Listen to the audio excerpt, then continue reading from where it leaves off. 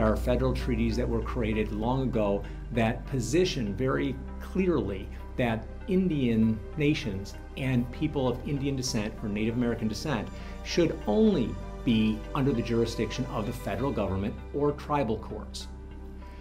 That has been ignored for decades and decades and decades until finally a case called Murphy came to the 10th Circuit. At that point, the 10th Circuit, under Justice Gorsuch, decided that this was no longer to be the case. And actually, Judge Gorsuch made a very clear communication that the Native American culture and Indians ha- had been uh, repressed and taken advantage of, if you will, by the judicial systems in the state of Oklahoma for, as I say, decades and decades and decades. I'm an attorney in Tulsa, Oklahoma, and we're kind of ground zero for McGirt issues here.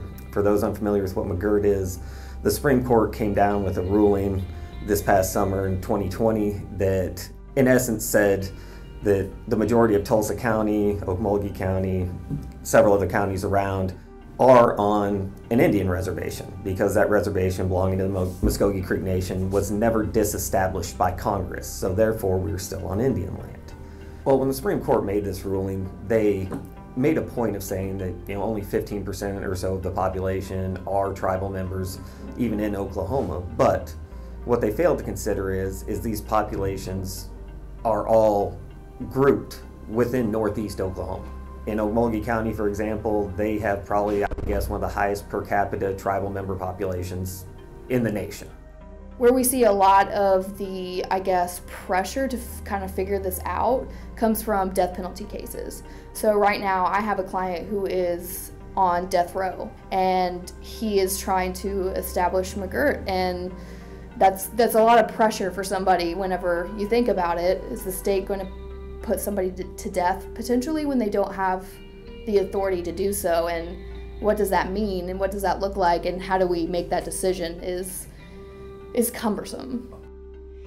My name is Tracy Priddy. I'm a district court judge in District 14 in the state of Oklahoma. I sit on a criminal felony docket in my court.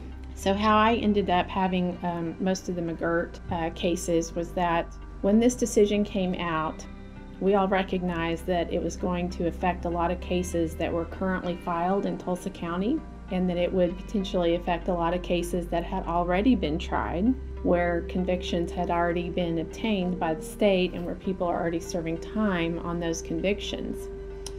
Um, in an effort to try to streamline and make it less chaotic for our five criminal district courts here in Tulsa County, I volunteered to take those cases to try to keep them all on one docket so that attorneys were coming to one court, the state was uh, coming to one court, and there hopefully would be uniformity of decisions handed out.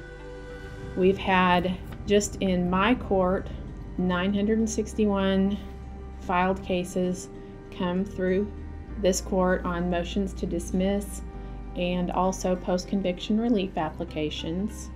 We have disposed of 558 of those cases. So we still have quite a few cases pending, waiting for a decision about the Cherokee Nation boundaries.